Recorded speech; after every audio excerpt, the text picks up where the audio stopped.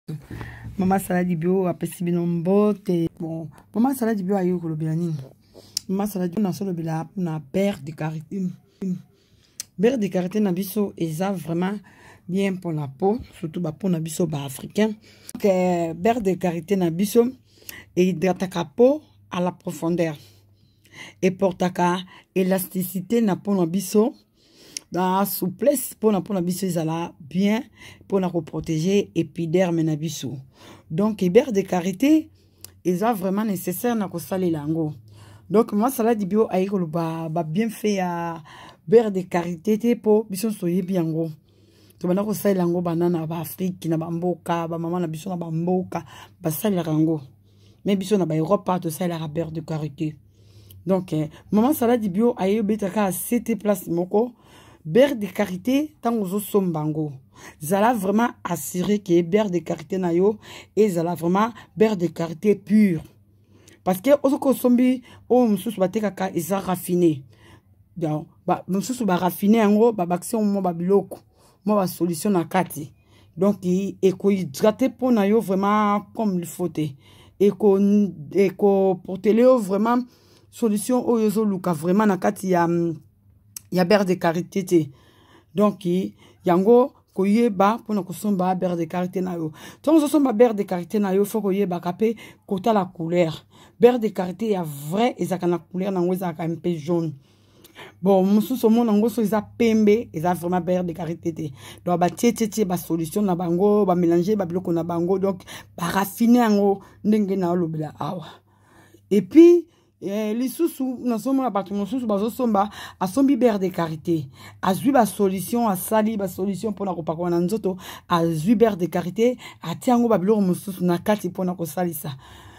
wana ozobebisa bere de carité beurre de karité bapakolaka yango ya pamba bapakolaka yango ya pure mpo na koprotege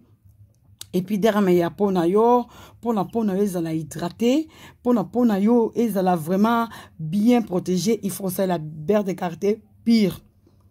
donc c'est pas la peine ya kozwa babiloko kosangisa nazomona bato bazosangisa beurre de karité bazosangisa beurre de karité eza na dame moko abengaki ngai atindeli nga me bafoto nakendeli mpe kokutana na ye en tout cas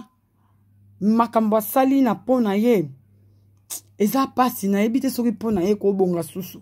parce que azwi bere de karité asangisi yango na babiloko mosusu asangisi yango na baproduit mosusu na kati asangisi yango na bapoudre babiloko mosusu na kati dame wana apakoli bere de karité dame wana etombaki kakokende vacanse akei akevanda na moi moi ekutani na po na ye po ya mama bato eziki ekomi mwindu moko dame soko atie aloe vera ezolongwa lisusu te parce que baformule oyo basolution oyo ya misaleli wana donk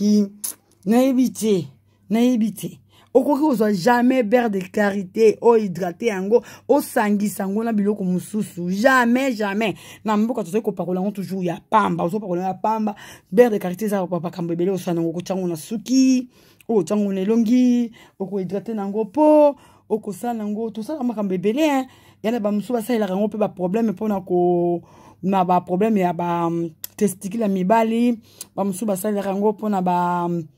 basexe mibali ezwa mwa forme ya mwa monene bana basi basalaka yango mpe mpona kobenda baclitoris na bango ekoma molai ekoma mwa 15 cm donc bere de quartier ntango ozosalela yango zima ozwa yango oyo ezali pure kozwa te oyo eza raffine epuis bere de quartier na yo soki osombi yango obombi yango omoni yango ebandi kochange couleur eza bere de quartier ya bien te faut kobwaka yango bere de karite na yo soki opakoli yango na nzoto solo na yango ewumelaka mingi te na nzoto 5 minute ya pamba solo na yango efesila nyonso wana bere de karite ya bien epuis soki omoni obombi yango ebandi kochange couleur bwaka yango eza ya bien te beurre de carité echangera couleur noki te beurre de carité agardaka couleur na ye beurre de carité ntango ozosalela ye ntango kopakola solo na ye solo na ye eza kaka différent omona yango na nini eumelaka te ma moko evapore donc so omoni babeurre de carité moko ezosala yo col col col col col na nzoto donc eh, eza beurre de karité ya bien te il faut kokeba na yango epuis balobi te lokola ozwi beurre de karité balobi ke eprotegaka na soleil mpo na baiv alo ye oke komivandisela na se ya moi na se na yango wana oza na crème solaire te ntango moi ekoleka degre ya makasi mpo moi ezalaka na badegre na yango degre nango soki eleki makasi etraverse sikoyo epenetre sikoyo zone wana ya, ya berte ekarite yo otyaki eke kokutana sikoyo na posono moko na kati tout ça mabe kaka donc evite eh, komelangeaka bere de karité na babiloko ebele ebele oyo bazotya na bainternet oyo oh, melange yango na oyo melange yango na oyo melange yango na oyo eza na babiloko mosusu basalelaka yango kaka yango moko eza eloko mosusu osombi yango fo osalelaka yango moko epuis ntango ozolinga osala systeme ya kosangisa babiloko il faut oyeba bacomposition na yo composition na otya na composition ya eske okende bien donc problème yango wana bato bazokutana nango problème yango mama na biso akutani nango apakoli beurre de karité asali bamélange asali bamélange na babiloko mosusu baserumu mosusu na bapoussière mosusu sangisa sangisa sangisa mama bato mama bato akefana na moi mama bato akomi couleur moko donc nayebi kutu ndenge ya kobikela te nayebi kutu ndenge ndenge solution ekozwama te beurre de karité eza bien soki okutani yango ya bio eza bien ya na bato mosusu mpe baboya na bango baprojet bahydroquinone baboya na bango bacogique baboya na bango bacolbetazole baboya na bango babiloko nyonso tuza baparabene basalaka bango kaka pere de quartier ya pamba momona mpo na ye lise sec eza bien raffine eza kitoko elongo ozotala ye souple c'est vraiment na mpo na ye omoni mais eza te ke kozwa beurre de karité alobani kopakola beurre de karité ya balobi na kotela to bapaka beurre de karité na kotela batie biloko na kati mama keba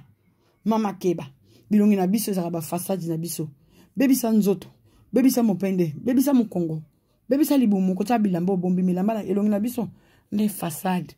yango bisika mosusu koleka yango etalamaka maboko na biso yango topesaka bambote donc keba na bamelange bimelange amelange keba na bere de karité bazoteka eza nango eza pure te eza raffine moto ya moto azosangisa na ndenge na ye asombi yango ezalaki moke akisomba babiloko mosusu asangisi yango mpo ekoma ebele abanda kokata banda kotekela bato zala na mayele angele eleki nyonso site mama saladi bio bizu baye